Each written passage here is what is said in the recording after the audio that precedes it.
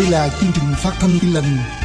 Tiếng nói của chân lý, bình an và hy vọng Nhằm mục đích giới thiệu đời sống tươi mới và hạnh phúc trong cứu Chúa Giêsu Được phát sóng hàng tuần trên hệ thống mạng lưới toàn cầu.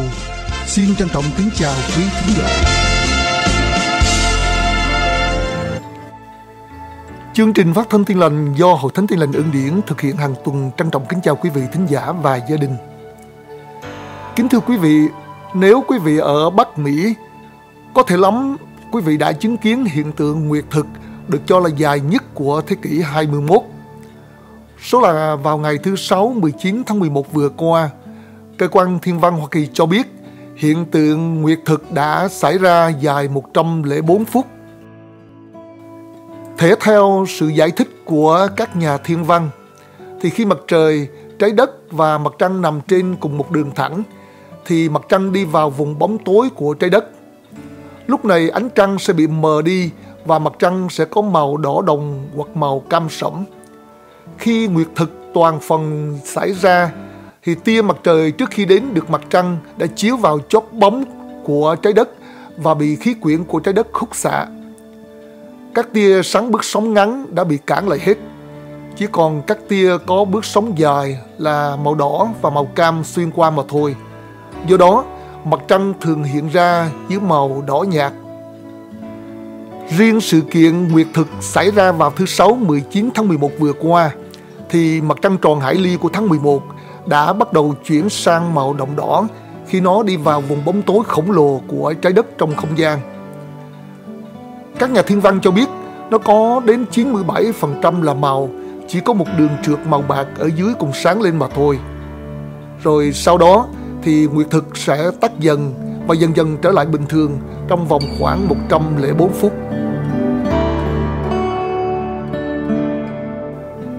Kính thưa quý vị và các bạn, không phải chỉ ngày thứ Sáu 19 tháng 11 vừa qua nhiều người mới thấy trăng màu máu đâu. Nhưng Thánh Kinh là lời Đức Chúa Trời đã có ghi lại rằng vào thời của tiên tri Joel, tức là khoảng 1.400 năm trước Chúa, thì ông đã nói về hiện tượng. Có một ngày người ta thấy trăng biến nên màu máu. Và câu chuyện này đã được sứ đồ Führer dùng làm câu chuyện kể lại cho người Do Thái trong bài giảng lời Chúa nói rằng Führer cùng 11 sứ đồ lên tiếng nói với dân chúng rằng, Thưa anh em là người Do Thái và tất cả những người ở Jerusalem Hãy biết rõ điều này và lắng tai nghe lời tôi nói. Điều mà Chúa đã phán qua tiên tri Joel ngày xưa rằng Đức Chúa Trời phán trong những ngày cuối cùng ta sẽ đổ thánh linh ta trên mọi loài xác thịt. Con trai và con gái các ngươi sẽ nói tiên tri, thanh niên sẽ thấy khải tượng và người già sẽ thấy chim bao. Phải trong những ngày đó ta sẽ đổ thánh linh ta trên đầy tớ trai và gái ta và họ sẽ nói tiên tri ta lại sẽ làm các phép màu ở trên trời và dấu lạ ở dưới đất, tức là máu, lửa và luồng khói. Mặt trời sẽ trở nên tối tăm, mặt trăng sẽ hóa ra máu. Trước ngày vĩ đại và vinh quang của Chúa đến, và ai cầu khẩn danh Chúa thì sẽ được cứu. Thưa đồng bào Israel, hãy nghe lời tôi nói đây. Đức Chúa Giêsu, người Nazareth đã được Đức Chúa Trời xác chứng trước anh em bằng những việc quyền năng, các phép màu và dấu lạ qua Ngài, Đức Chúa Trời đã thực hiện những điều đó giữa anh em như chính anh em đã biết rõ. Ngài đã bị phản nộp theo kế hoạch đã định và sự biết trước của Đức Chúa Trời. Các ông đã mượn tay những kẻ gian ác để đóng đinh Ngài trên thập tự giá và giết đi. Nhưng Đức Chúa Trời đã khiến Ngài sống lại, giải thoát Ngài khỏi nỗi thống khổ của sự chết vì nó không thể cầm giữ Ngài được. Thưa anh em, Đức Chúa Trời đã khiến Đức Chúa Giêsu sống lại. Tất cả chúng tôi đều làm nhân chứng về điều đó. Vậy sau khi Ngài đã được tôn cao ở bên phải Đức Chúa Trời và đã nhận lãnh lời hứa về Đức Thánh Linh từ nơi cha, Ngài đổ Đức Thánh Linh ra như cho anh em thấy và nghe. Vì vua David chẳng hề lên trời, nhưng chính người cũng đã nói rằng Chúa đã phán với Chúa tôi rằng hãy ngồi bên phải ta cho đến khi nào ta đặt các kẻ thù nghịch làm bệ chân cho con. Vì thế, cả nhà Israel hãy biết chắc rằng Đức Chúa Giêsu này, đấng mà anh em đã đóng đinh trên thập tự giá đã được Đức Chúa Trời tôn làm Chúa và Đấng Christ. Sau khi nghe những điều ấy, lòng họ đau như cắt, liền hỏi phi và các sứ đồ khác rằng: "Các anh ơi, chúng tôi phải làm gì đây?" phi trả lời rằng: "Hãy ăn năn, mỗi người phải nhân danh Đức Chúa Giêsu nhận bắp tem để được tha tội mình." rồi sẽ nhận lãnh quà tặng là Chúa Thánh Linh. Vì lời hứa đó đã dành cho anh em, cho con cháu anh em và cho tất cả mọi người ở xa, tức là cho tất cả những người mà Chúa là Đức Chúa Trời chúng ta sẽ kêu gọi. Phi-rơ lại lấy nhiều lời làm chứng mà thúc giục họ rằng anh em hãy cứu lấy mình thoát khỏi thế hệ gian tà này. Đức Chúa Giêsu cũng phán rằng sẽ có các điềm lạ ở trên trời mặt trăng và các ngôi sao. Còn dưới đất, các dân sầu não rối loạn trước biển cả ba đào gầm thét. Người ta ngất đi vì kinh hãi trong khi chờ đợi những gì sẽ xảy ra cho thế giới vì các quyền lực trên trời sẽ bị rúng động. Bây giờ, thiên hạ sẽ thấy con người lấy đại quyền đại vinh mà ngự đến giữa đám mây. Khi nào các việc đó bắt đầu xảy đến, hãy đứng thẳng, ngước đầu lên, vì sự cứu rỗi của các con đang đến gần. Kính thưa quý vị thính giả, thật vậy, Đức Chúa Trời đã dùng nhiều lần nhiều cách như những dấu hiệu báo trước cho chúng ta biết rằng sẽ có một ngày Đức Chúa Giêsu sẽ trở lại thế gian này mà người ta thường gọi là ngày tận thế. Quý vị đã chuẩn bị gì để đón tiếp Ngài chưa?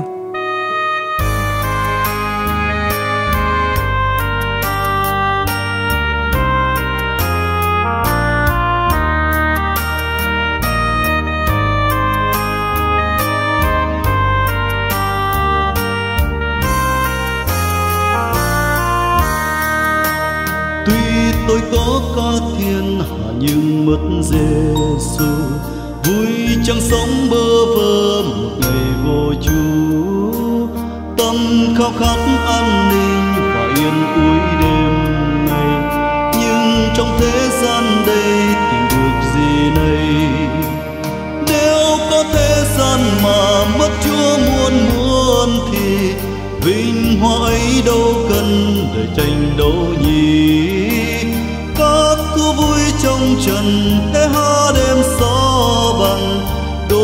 giây phút yên vui từ đây Christ tuy tôi có trong tay đời châu báu ngọc ngà trăm muôn kế yêu danh vòng lưng vàng cả, nhưng thân bách vô hy vọng tóc bên thiên hà linh đình mãi trong thiên ngàn nhịp mù xa nếu có thế gian mà mất chính vua thiên đàng xưa lưu huyết thay tôi thập tình không quan cứ hơi ca thiên hà thấy nơi an bằng.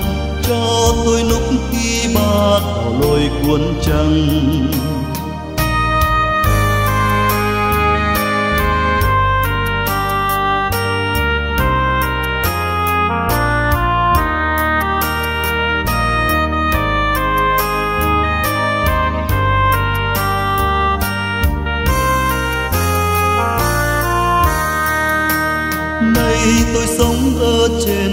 Gian ác lâu sâu. Ôi, không có Giêsu là mộng ảo. Tương lai đến nơi vô tận, thăm thăm đền mù đâu thương khóc than ân, nghìn nghìn thu. Có thế nay xanh hoạt, yêu Giêsu con trời. Nhưng trong phút lâm chung, rồi ra sao hơi đứng trước cây đến mờ có Giêsu đâu nào. Ôi không Chúa muôn thu dần dần biết bao. Vui thấy có muôn muôn sự trong Chúa bây giờ. Đây phương thuốc linh thiêng diệt lòng tan vỡ. Không gian nát chi Giêsu không thể tha dày Giêsu cảm thương hết mọi lòng sâu cay thật có Chúa Giêsu rồi, không chỉ đáng kể trong cuộc đời mấy nỗi. Lúc ai muốn muôn sự có cả trong Giêsu vui thấy thoát thấy thân hồn tôi vĩ phù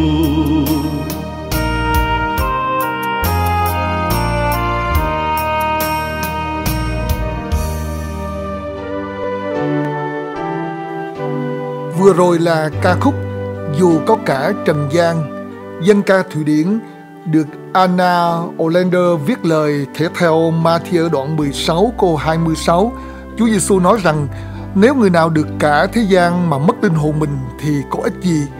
Người ấy sẽ lấy gì mà đổi linh hồn mình lại?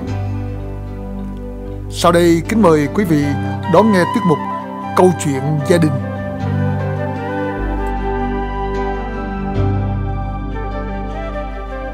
Một câu chuyện gia đình.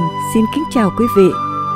Hôm nay, kính mời quý vị đón nghe đề tài Xây dựng hôn nhân trong thế kỷ 21 Tài liệu của Minh Nguyên. Chương trình phát thanh tin lành tại California, Hoa Kỳ. Xây dựng hôn nhân trong thế kỷ 21 Bài 30 Kính thưa quý thính giả Để cấm hôn nhân hạnh phúc bền lâu Chúng ta cần biết những nguyên tắc Chúa dạy trong Kinh Thánh và áp dụng vào đời sống. Trong các câu chuyện gia đình gần đây, chúng tôi có trình bày về những nguyên tắc chúng ta cần áp dụng trong hôn nhân, gồm có Thứ nhất, không ích kỷ, nhưng quan tâm đến phúc lợi của người phối ngẫu. Thứ hai, dứt khoát với những ràng buộc và kỷ niệm của thời độc thân. Thứ ba, vợ chồng quyết tâm giúp nhau tránh cám dỗ về mặt tình dục. Thứ tư, dành thời giờ trò chuyện với nhau thường xuyên. Thứ năm, cư xử khôn ngoan để bất hòa giữa vợ chồng, đem lại cảm thông và hiệp một. Hôm nay chúng tôi xin trình bày nguyên tắc thứ sáu. Cẩn thận về tiền bạc để không xa vào nợ nần. Theo ý quý vị, tiền bạc có ảnh hưởng đến hạnh phúc gia đình không? Những người trẻ đang yêu có lẽ nói rằng tiền bạc không quan trọng. Vợ chồng có thể sống trong túp lều tranh với hai quả tiêm vàng là đủ hạnh phúc rồi. Nhưng có lẽ người khác thì nói phải có tiền bạc dư giả thì gia đình mới hạnh phúc. Nghèo thiếu không thể nào hạnh phúc được. Thật ra, không thể nói nhiều tiền hay ít tiền sẽ có hạnh phúc vì hạnh phúc trong hôn nhân không tùy ở tiền bạc vật chất chúng ta có, nhưng tùy ở cách nhìn của chúng ta đối với tiền bạc và cách chúng ta sử dụng tiền bạc. Có người đã nói, tiền bạc là tên đầy tớ tốt, nhưng là ông chủ xấu, hàm ý rằng nếu chúng ta làm chủ đồng tiền, không để nó điều khiển, nhưng sử dụng cách khôn ngoan, tiền bạc sẽ đem lại ích lợi cho đời sống. Ngược lại, nếu chúng ta để đồng tiền điều khiển, quyết định mọi chi tiết của đời sống, chúng ta sẽ gặt lấy đau khổ và bất hạnh. Dù sao chúng ta phải đồng ý rằng tiền bạc có ảnh hưởng đến hạnh phúc gia đình. Đã biết bao nhiêu vợ chồng ly dị nhau vì tiền bạc. Vì thiếu tiền hay có quá nhiều tiền vì làm ăn thất bại, vì không biết quản lý tiền bạc, vì nợ nần chồng chất, vì mải mê kiếm tiền không dành thời giờ cho nhau, hoặc vì có quá nhiều tiền nên sinh ra những tật hư thói xấu, vân vân. Cái nhìn đối với tiền bạc cũng như cách chúng ta sử dụng tiền bạc sẽ ảnh hưởng đến niềm vui, bình an và hạnh phúc của gia đình chúng ta. Lời Chúa trong Kinh Thánh dạy Lòng tham tiền bạc là cội rễ mọi điều ác. Thì một thề thứ nhất chương 6 câu 10 Sau đây là những nguyên tắc Kinh Thánh dạy về tiền bạc chúng ta cần áp dụng. Thứ nhất, người tin Chúa là quản gia trong nhà Chúa. Chúng ta có trách nhiệm quản lý những điều Chúa ban cho trên đời tạm này Những điều Chúa ban cho chúng ta trong đời này gồm có sự sống, con cái, ân tứ, khả năng và vật chất, tiền bạc và tài sản. Nhưng chúng ta không sở hữu những điều đó, nhưng chỉ là người quản gia, được Chúa giao cho trách nhiệm quản lý. Sứ đồ Phêrô dạy, mỗi người trong em hãy lấy ơn mình đã được mà giúp lẫn nhau. Khác nào người quản lý trung tín giữ các thứ ơn của Đức Chúa Trời. Phêrô thứ nhất, chương 4 câu 10 Và điều Chúa trông mong nơi người quản lý là phải trung tín. Sứ đồ Phaolô khuyên, điều người ta trông mong nơi người quản trị là phải trung thành. Câu Tô thứ nhất chương 4 câu 2 Là người quản gia của Chúa, chúng ta có trách nhiệm sử dụng những điều Chúa ban như thế nào để đem lại lợi ích cho nhà Chúa, cho vương quốc của Ngài.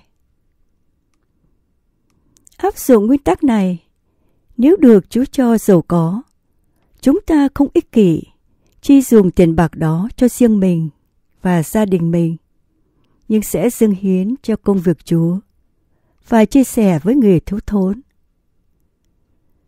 Người tiên Chúa không xem trọng tiền bạc, cũng không lo lắng về tiền bạc, nhưng sống như lời Chúa dạy. Các ngươi chớ lo lắng mà nói rằng, chúng ta sẽ ăn gì, uống gì, mặc gì, vì mọi điều đó các dân ngoại vẫn thường tìm. Phải cha các ngươi ở trên trời vốn biết các ngươi cần dùng những điều đó rồi. Nhưng trước hết, hãy tìm kiếm nước Đức Chúa Trời và sự công bình của Ngài, thì Ngài sẽ cho thêm các ngươi mọi điều ấy nữa. Matthew chương 6, câu 31 tới câu 33 Áp dụng lời Chúa, chúng ta không than phan lo lắng khi gặp thiếu thốn. Nhưng cứ trung tín tìm kiếm Chúa, học lời Chúa, hồ việc Ngài, vì biết rằng Chúa biết rõ nhu cầu của chúng ta và Ngài sẽ cung ứng đầy đủ. Chúng ta không nên xem tiền bạc là điều quan trọng nhất trong đời. Không dành tất cả thì giờ sức lực đi làm kiếm tiền. Chúa Giêsu cảnh cáo những người xem tiền bạc là mục tiêu, là cứu cánh của đời sống với lời như sau. Chẳng ai được làm tôi hai chủ, vì sẽ ghét người này mà yêu người kia, hoặc trọng người này mà khinh người kia. Các ngươi không có thể làm tôi Đức Chúa Trời, lại làm tôi ma môn nữa. Matthew chương 6 câu 24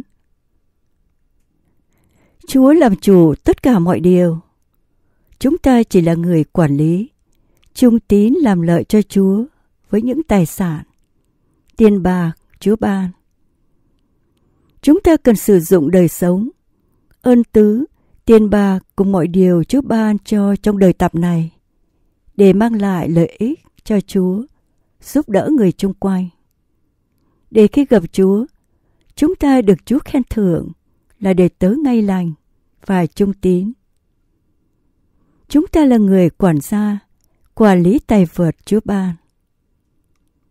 Cảm ơn quý vị đã theo dõi chủ đề về gia đình với tiểu đề Xây dựng hôn nhân trong thế kỷ 21, bài 30 phần 1. Xin chấm dứt nơi đây. Trân trọng kính mời quý vị nhớ đón nghe tiếp. Xây dựng hôn nhân trong thế kỷ 21 bài 30 phần 2. Thân ái xin kính chào toàn thể quý vị. Tiếu Anh vừa kính gửi đến quý vị tài liệu câu chuyện gia đình với đề tài xây dựng hôn nhân trong thế kỷ thứ 21 của tác giả Minh Nguyên trong chương trình phát thanh tiên lành tại California, Hoa Kỳ.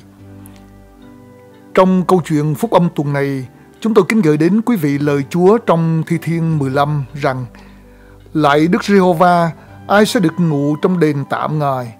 Ai sẽ được ở trên núi thánh của Ngài? Đó là người bước đi ngay thẳng, làm điều công chính và nói lời chân thật từ trong lòng mình. Người có lưỡi không nói hành, chẳng làm hại bạn hữu mình, cũng không gieo sự sỉ nhục cho người lân cận mình. Người khinh dễ kẻ gian ác, nhưng tôn trọng người kính sợ Đức Giê-hô-va. Người đã thề nguyện, dù phải tổn hại vẫn không thay đổi. Người không cho vay lấy lãi, chẳng nhận hối lộ để hại người vô tội. Người nào làm các điều ấy sẽ không hề bị rúng động. Kính mời quý vị đón nghe lời Chúa với đề tài Ai có thể ở cùng Chúa qua sự giải bày của mục sư Vũ Ngọc Văn.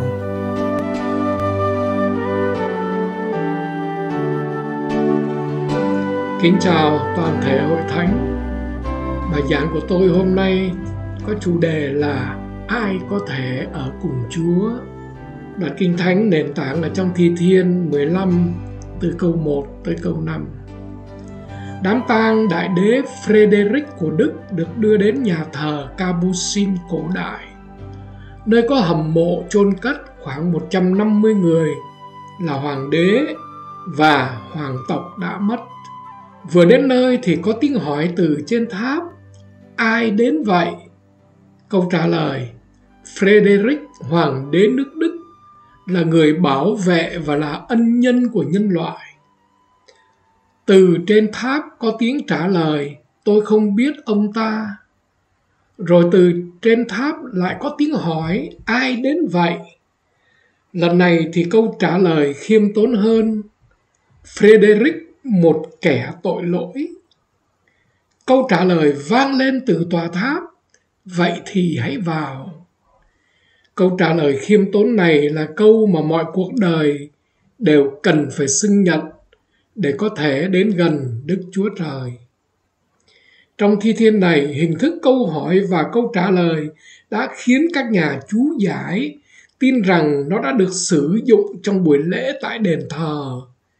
Khi những người hành hương đến gần đền thờ để mà thờ phượng, thì họ đã đặt ra câu trả lời và các thầy tế lễ trả lời kèm theo một số điều kiện. Người hành hương thắc mắc, hỡi Đức Gia Vê, ai sẽ ngụ trong đền tạm của Ngài? Ai sẽ ở trên núi thánh của Ngài? Đền tạm là đền thờ tạm thời, đã được gánh vác trên vai của các thầy tế lễ và người Lê Vi di chuyển hết nơi này đến nơi khác trong đồng vắng. Nó được coi là nơi ở của Đức Chúa Trời và danh Ngài ngự ở đó và đó cũng là nơi Ngài gặp gỡ và ban phước cho dân sự. Đền tạm tượng trưng cho tình trạng của dân Chúa trên thế gian này bị tan lạc, bị những cơn bất bớ và thử thách khác nhau và không có một thành phố đời đời nào dành cho họ ở trên mặt đất.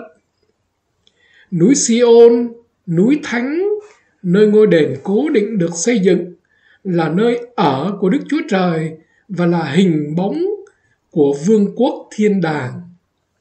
Thi Thiên 125 câu 1 cho biết những người tin cậy nơi Đức Gia-vê chẳng khác nào núi Siôn không rúng động hằng còn đến đời đời. Đền thờ là tòa nhà vững chắc, chiếc hòm giao ước ở yên một chỗ là biểu tượng cho đấng chiến thắng tử thần và thiên đàng phước hạnh là nơi ở vĩnh hằng của tất cả những ai trung thành với Chúa cho đến chết. Ai sẽ ở đó? Câu hỏi này không thắc mắc tên người nào được ghi trong đền tạm của Đức Chúa Trời. Nhưng là loại người nào sẽ được quyền như vậy?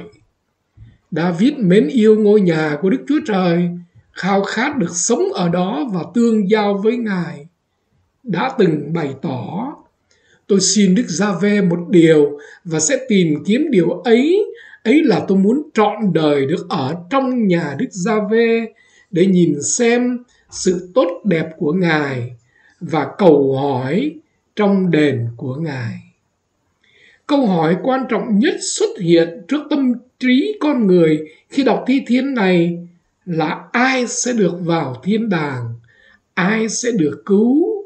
Ai có đủ tiêu chuẩn để trở thành thánh đồ trong hội thánh? Nếu chúng ta được hỏi là ai có đủ điều kiện để ở trong đền tạm của Chúa, chúng ta sẽ phải thành thật trả lời là không có ai có đủ điều kiện cả. Chính Đức Chúa Giêsu yêu thương đã đáp ứng mọi đòi hỏi của luật pháp, mở ra cho con cái của Ngài một con đường để bước vào sự hiện diện của Đức Chúa Trời. Thư Hebrew đoạn 10 cho biết, hỡi anh em, chúng ta nhờ huyết Đức Chúa Giêsu được dạng dĩ vào nơi rất thánh. Bởi đường mới mà sống mà Ngài đã mở ngang qua cái màn, nghĩa là ngang qua xác của Ngài. Phaolô giải thích điều này, anh em chẳng phải là người ngoại, cũng chẳng phải là kẻ ở trọ nữa, nhưng là người đồng quốc với các thánh đồ và là người nhà của Đức Chúa Trời. Người Việt thường nói, một kẻ làm quan thì cả họ được nhờ, làm người nhà của người có quyền có chức thì thật là phước hạnh. Thế nhưng có ai thấy mình phước hạnh khi mình là người nhà của Đức Chúa Trời không? Mong muốn được tương giao gần gũi với Đức Chúa Trời mà cứ vi phạm các mạng lệnh của Ngài thì là hai điều không thể hòa hợp được với nhau vì tội lỗi làm cho Thiên Chúa và con người xa cách. Người thực sự tìm kiếm sự hiệp thông với Thiên Chúa sẽ tránh làm những điều mà Đức Chúa Trời không ban phước. Thế thì họ cần phải làm gì? Thầy tế lễ trả lời. Người có thể ở cùng Chúa và sẽ ở trên núi thánh của Ngài là người phải đi theo sự ngay thẳng, làm điều công bình và nói chân thật trong lòng mình. Bước đi trong kinh thánh có nghĩa là cuộc sống và hành vi của chúng ta, đặc biệt là đối với bản thân trong sự quan sát của Đức Chúa Trời. Sự sống phát xuất từ tấm lòng hơn là hình thức bề ngoài. Người bước đi theo sự công chính ngay thẳng sẽ là người được che chở, chăm sóc và được phước. Trong ngôn 21 câu 3 khuyên, làm theo sự công bình và ngay thẳng thì được đẹp lòng Đức Gia Vê hơn là của tế lễ. Châm ngôn đoạn 13 cho biết, sự công bình bảo vệ người ăn ở ngay thẳng, nhưng sự gian ác đánh ngã kẻ phạm tội. Thi Thiên 34 câu 17 cho biết, người công bình kêu cầu, Đức Gia Vê bèn nghe và giải cứu người khỏi các sự gian truân. Đặc tính của cơ đốc nhân là có sự công bình và lẽ thật ở trong tâm hồn. Nhưng làm sao chúng ta có thể sống công bình? Job đã đặt vấn đề. Làm sao loài người được sự công bình trước mặt Đức Chúa Trời? Kẻ mà người nữ sanh ra làm sao trong sạch được? Roma đoạn 3 câu 10 ghi rằng chẳng có người công chính nào hết, dẫu một người cũng không. Nhưng cảm tạ Chúa, chúng ta nhờ huyết Ngài được xưng công bình thì sẽ nhờ Ngài được cứu khỏi cơn thạnh nộ là giường nào. Giao dịch công bằng ngay thẳng, trung thực với người khác cũng là điều mà Đức Chúa Giêsu phán. Sự sáng của các con phải chiếu sáng trước mặt mọi người để họ thấy những việc làm tốt đẹp của các con và ca ngợi cha của các con ở trên trời. Người được ở cùng Chúa cũng là người có lưỡi không nói hành, chẳng làm hại cho bạn hữu của mình, không gieo sỉ nhục cho kẻ lân cận mình. Nói hành chữ Hy Lạp là kata lalia, nghĩa là nói xấu, nói sau lưng, dèm pha, vu khống. Nói hành thường là nói về một người nào đó mà không cho họ cơ hội để biện minh. Gia cơ đoạn 3 mô tả, cái lưỡi không ai trị phục được nó. Ấy là một vật dữ, người ta không thể hãm dẹp được. Đầy dẫy những chất độc giết chết. Bởi cái lưỡi chúng ta khen ngợi Chúa và cũng bởi nó, chúng ta rủa xả loài người. Có lẽ nào một cái suối kia đồng một mạch mà ra cả nước ngọt và nước đắng hay sao? Những người kính sợ Chúa chân chính trong các vấn đề sẽ tuân theo nguyên tắc vàng mà Chúa Giêsu đã dạy. Hễ điều chi mà các con muốn người ta làm cho mình thì cũng hãy làm điều đó cho họ vì ấy là luật pháp và lời tiên tri. Ai cũng muốn người khác yêu thương và phục vụ mình, nhưng có bao giờ hỏi chính mình là đã có yêu thương và phục vụ người khác nào chưa? Führer khuyên anh em đã từ bỏ mọi điều độc ác, mọi điều gian dảo, mọi thứ giả trá, lòng ghen ghét và sự nói hành, thì sẽ ham thích sữa thiêng liêng của đạo như trẻ con mới đẻ vậy, hầu cho anh em nhờ đó lớn lên mà được rỗi linh hồn. Người công chính cũng chẳng coi ai là người thấp hèn hoặc vô giá trị, nhưng tôn trọng những người kính sợ Đức Chúa Trời. Chứ không phải người ghét mà của yêu, lòng thì không ưa, không thích. Nhưng vì quyền lợi nào đó đã giả vờ nịnh nọt hay dối lòng tân bốc vút đuôi. Người này khi thề nguyện dầu phải tổn hại cũng không đổi rời gì hết. Nếu đã hứa bất cứ điều gì, người công chính sẽ không bao giờ thất hứa mặc dù việc thực hiện lời hứa sẽ khiến họ gặp phải khó khăn và bất lợi. Trong các giao dịch tiền bạc hoặc thương mại, lời nói sẽ là lời ràng buộc, khiến anh ta không như kẻ tiểu nhân, không ngụy biện, không ngụy tạo, để làm mất hiệu lực giao ước của mình. Đối với những cuộc hứa hẹn có tính chất thiêng liêng hơn, như tiếp nhận Chúa, hứa hôn, anh ta sẽ thực hiện điều ấy với sự cẩn trọng tối đa và không vì bất cứ điều gì mà thay đổi suy nghĩ của chính mình. Người đẹp lòng chúa cũng không có cho vay tiền lấy lời. Luật pháp ghi rõ, người được phép lấy lợi người ngoại bang, nhưng chớ lấy lợi anh em mình. Để đức chúa trời của ngươi ban phước cho ngươi người do thái thường sống bằng nghề cho vay lấy lời, nhưng họ không được lấy lời của người đồng hương họ cũng chẳng nhận hối lộ để làm hại người vô tội, và luôn vâng phục lời Chúa dạy. Xuất đoạn 23 câu 8 Người chớ nhận của hối lộ, vì của hối lộ làm mờ mắt người thượng trí và làm mất duyên do của kẻ công bình. Amos đoạn 5 câu 12 cho biết, ta biết tội lỗi của các ngươi nhiều và lớn là bao nhiêu. Các ngươi hà hiếp người công bình, nhận lấy của hối lộ ở nơi cửa thành, làm công lẽ thẳng của kẻ nghèo. Kết luận, người nào làm các điều ấy thì sẽ không hề rúng động. Không có bất kỳ ranh giới phân biệt nào giữa cuộc sống hành vi và lời phát biểu. Giống như các cạnh của một tam giác, mỗi cạnh bao gồm cả hai cạnh còn lại. Nếu chúng ta bước đi với chúa, chúng ta sẽ đối xử công bằng với những người bạn của mình. Và phải coi lời nói của chúng ta là một trong những phần ứng xử có trách nhiệm nhất đối với chúa và đối với con người. Không ai xứng đáng để được ở cùng và tiếp cận với đức chúa trời chỉ nhờ sự thương xót của Chúa Giêsu Christ mà con người tội lỗi có thể đến trước mặt Đức Chúa Trời. Chính Đức Chúa Giêsu đã mang những người trở nên công bình nhờ đức tin và cái chết thay thế của Ngài đến gần Đức Chúa Trời.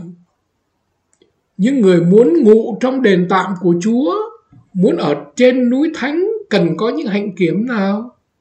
Người tín đồ mới nên hỏi mình cần phải làm gì Người tín đồ lâu năm sẽ sử dụng thi thiên này như một cuộc kiểm tra định kỳ.